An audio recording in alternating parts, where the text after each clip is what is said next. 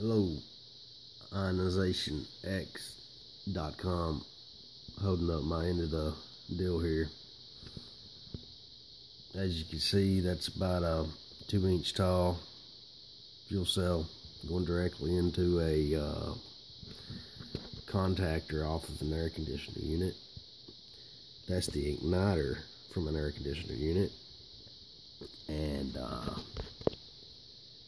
these two diodes, LEDs, I don't know if you could see, you can see the rightmost green LED, the positive terminals on the right. Same with the uh, left green LED, positive terminal on the right, which means the left LED is the positive supply and the right LED is the negative supply. This is a uh, zero, uh, whichever you call it, a zero, uh, can't even think straight, my mind's blank. The red wire is the positive feed to the primary coil. There's a miniature ferrite capacitor in there. I had a, uh, trying to make this as quick as possible. I had one around here that you can see.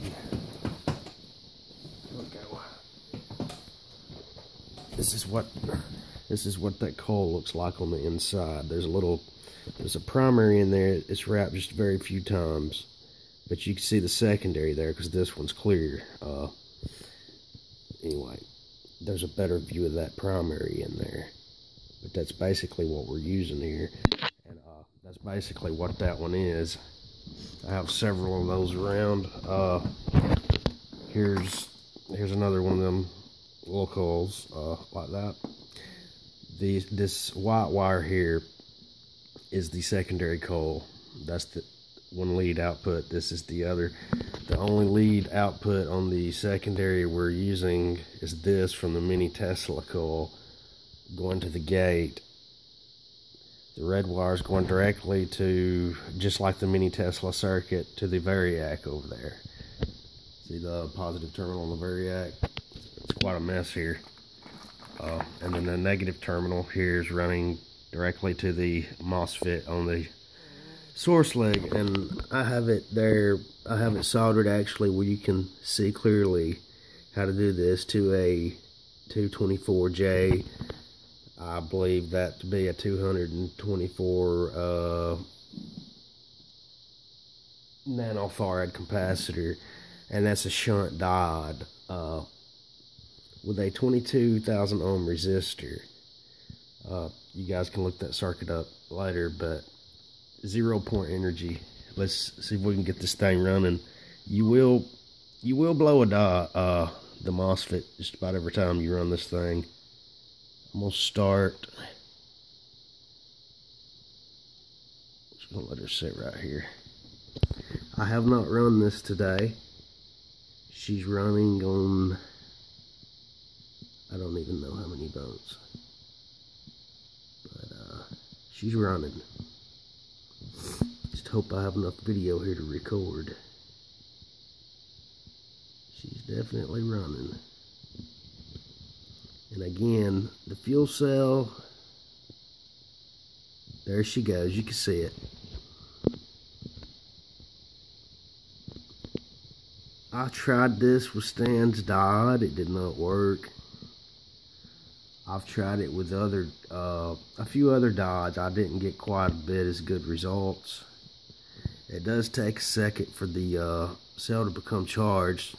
There she goes. You can see her flowing. This is an open circuit. There's the cell. There's the diodes.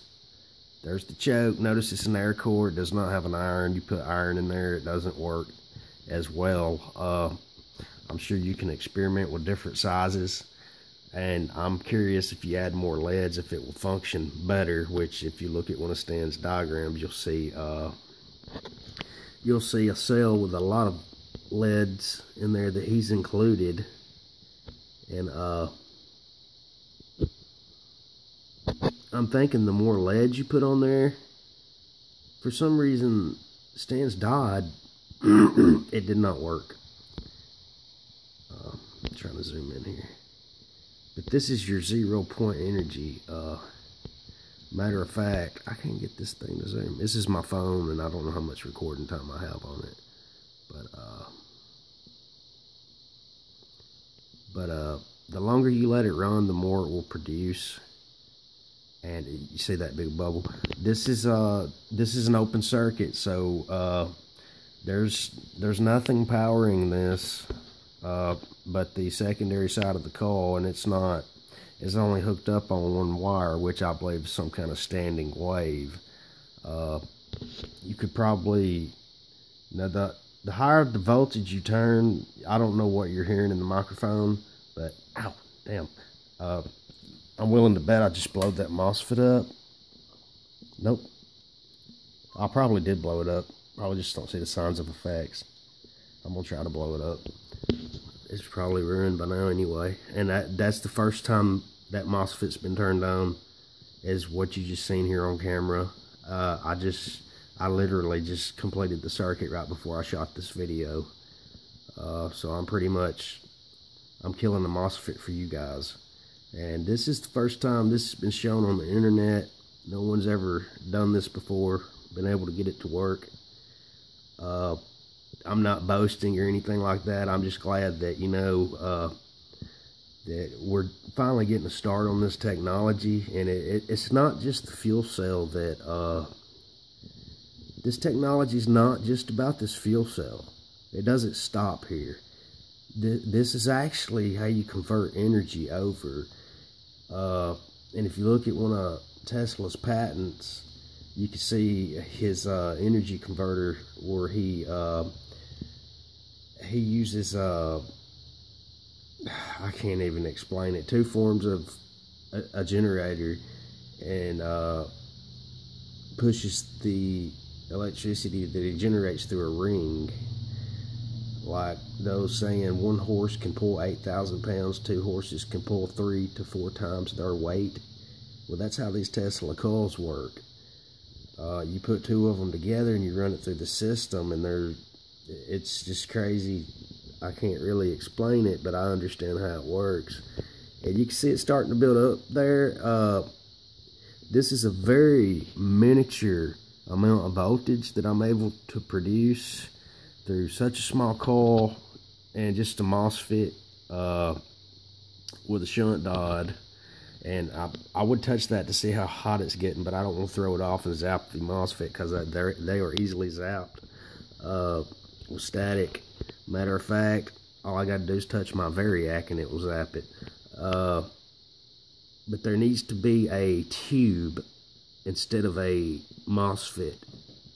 Because for uh, those, those MOSFETs doesn't last very long.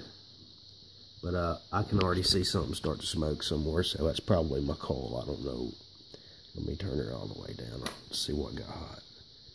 The coil's just warm yeah that MOSFET's hot go ahead and end this video but you guys again uh,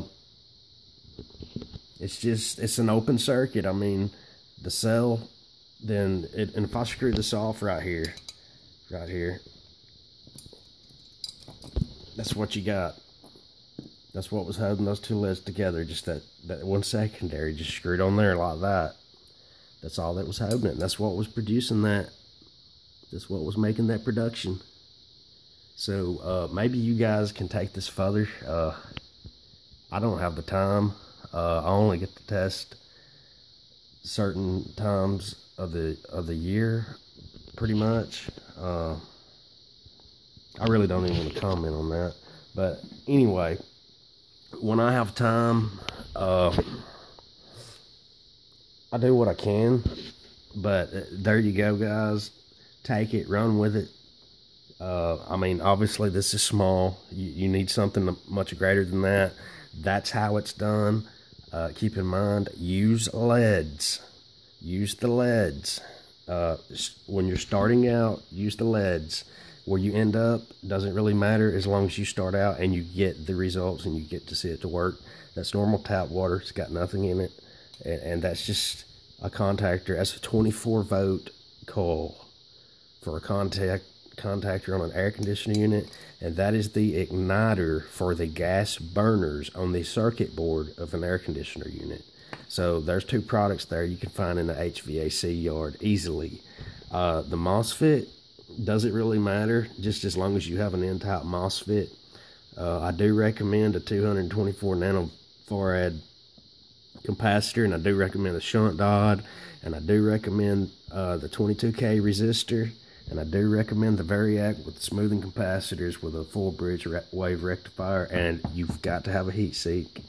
And and and last time you're going to blow MOSFET after MOSFET after MOSFET, so get ready to blow MOSFETs because you're going to blow them. Uh, hope you enjoyed and hope you can take it and do something with it. Thanks, guys. Good luck.